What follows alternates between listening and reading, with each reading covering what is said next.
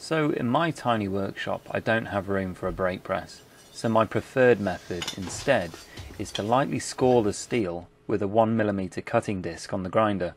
This creates kind of like a weak area where the steel bends very easily by hand and when you've done it you can get really nice crisp edges that I think look even better than a brake press. If you like this, do subscribe to my YouTube channel. Thank you.